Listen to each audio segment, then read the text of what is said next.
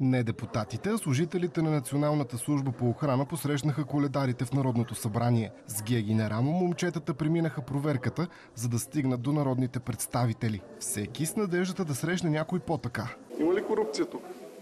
Ням, нямам си идея. Мисля, че няма. То се чува, че няма. Чува се, че няма корупция. Да. Ми искам да видя Кирил Петков. Защо точно него? Ами, защото е известен. И аз искам Кирил Петков. Какъв беше той? Изве... А, депутат. А преди това? Не помня. Министър-председател. Нямам, нямам как да се сетя. Когато казахте депутат ли? Да.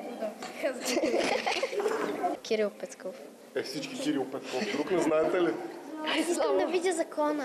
А преди да изпълнят ритуала, децата обиколиха парламента и дори изслушаха част от дебата в пленарната зала. Не им се стори особено интересен и продължиха разходката си в кулуарите. И там все пак срещнаха Кирил Петков.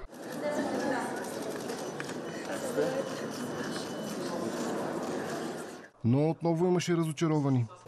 Кой не срещна ти, който искаше да видиш? Бойко Борисов. Какво искаш да му кажеш на него? Искам да му кажа... Защо не си депутат? В крайна сметка се стигна и до сурвакането. Е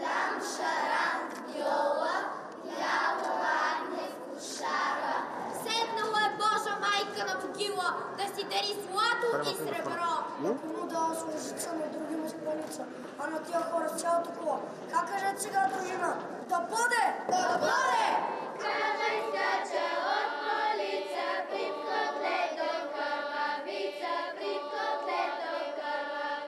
А след традиционните дойде рети на актуалните пожелания. Ми, аз ще им пожелая да си вършат работата. Да няма много спорове, както винаги се вижда. На финала Коледар с гипсирана ръка получи подпис от депутата Христо Петров, все още по-известен с прякора си хазарта. Вече решили ли сте какви ще станете? Актьор. Футболист. Актьор. Значи може пак тук да си. За новините Онер Иван Кънчев.